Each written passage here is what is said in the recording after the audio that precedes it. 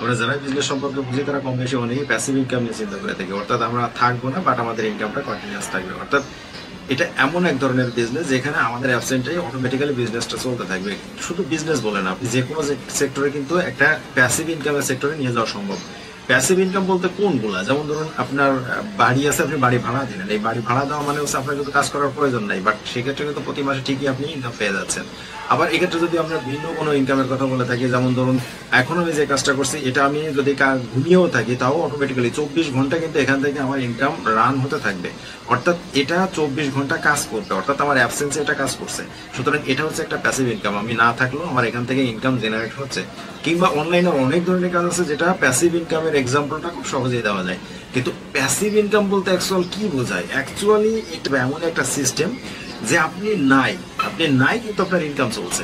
কীরকম? যেমন ধরুন, আমি আজকে যে প্রতিষ্ঠানে জব করছি, যেমন আমার ব্যাংকিং সেক্টর এই ব্যাংকিং সেক্টরের কথা যদি বলি, আমার ফাউন্ডার চেয়ারম্যান যিনি আছেন, তিনি আজকে বিজনেসে আসছেন কিনা? তিনি কিন্তু নিয়মিত বিজনেসে আসছেন না। তারপরেও কিন্তু তার বিজনেস থেমে আছে বিজনেস কিন্তু ঠিকই চলছে। তিনি হয়তো সপ্তাহে একদিন আসেন বা দুই দিন আসেন বা মাসে এক, দুই দিন বা তিন দিন আসেন বা আরও একটু বেশি ধরলে হয়তো চার, পাঁচ দিন আসেন। বাট বাকি দিনগুলো কি ব্যবসা বন্ধ থাকছে? এই ব্যাংকটি বন্ধ থাকছে? থাকে- থাকে না কিন্তু। অটোমেটিক্যালি চলছে। কিংবা ধরুন আজকে স্কোয়ারের কথা যদি বলি স্যামসাং এইচ চৌধুরী, উনি কিন্তু মারা গিয়েছেন। কিন্তু তার প্রতিষ্ঠান কিন্তু উনি থাকতে যতটা ভালো চলতো, এখন আরও বেশি ভালো চলছে। আজকে যদি মাইক্রোসফটের প্রতিষ্ঠাতা বিল গেটস এর কথা বলি, উনি কিন্তু নাই। আজকে মাইক্রোসফটে কিন্তু উনি নাই। তারপরে কিন্তু ওনার প্রতিষ্ঠান আগে থেকে আরও বেশি গ্রো করতেছে। ডে বাই ডে এটা ইমপ্রুভ করেই চলছে। তাহলে এই প্রতিষ্ঠানটা ডে বাই ডে যে গ্রো করছে, এটা কে গ্রো করছে? যখন কোনো বিজনেস আমরা শুরু করি, আমাদের প্রচুর ইফোর্ট দিতে হয়, প্রচুর এফোর্টও করা লাগে। কিন্তু যখন বিজনেসটা সুন্দরভাবে দাঁড়িয়ে যায়, ওই বিজনেসে যখন একটা স্ট্যাবিলিটি চলে আসে, আপনি ওই বিজনেসে থাকেন বা না থাকেন, আপনি কাউকে না কাউকে ওই বিজনেসে ইনভলভ করবেন।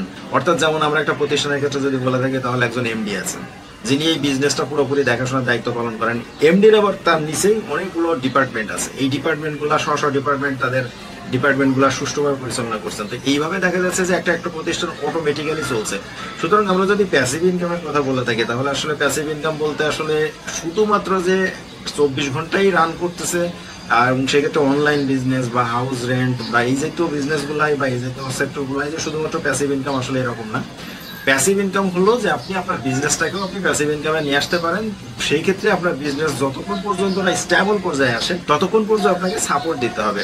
এই সাপোর্টটাই একটা সময় দেওয়ার প্রয়োজন পড়বে না। দেন আপনার জন্য সেটা হবে একটা প্যাসিভ ইনকাম সোর্স অর্থাৎ আপনি না থাকলেও আপনার বিজনেস অটো চলবে। আর যতক্ষণ পর্যন্ত বিজনেস এই অটোমোটেড না হচ্ছে, ততক্ষণ পর্যন্ত আপনার কাজ হলো ওই কাজটাকে সুষ্ঠুভাবে সাপোর্ট দিয়ে চালিয়ে নিয়ে যাওয়া। আমার মনে হয় প্যাসিভ ইনকাম নিয়ে আমরা যথেষ্ট একটা স্বচ্ছ ধারণা পাইলাম যে আসলে কেন আমরা প্যাসিভ ইনকামের দিকে ছুটি? প্যাসিভ ইনকাম মানেই হচ্ছে যে আমি কাজ করব না, আমার ইনকাম আসবে। সুতরাং এটা আমরা যে কোনো ক্ষেত্রেই এই প্যাসিভ ইনকামটা বের করে নিয়ে আসতে পারি। তো আজকে ভিডিওটা এই পর্যন্তই।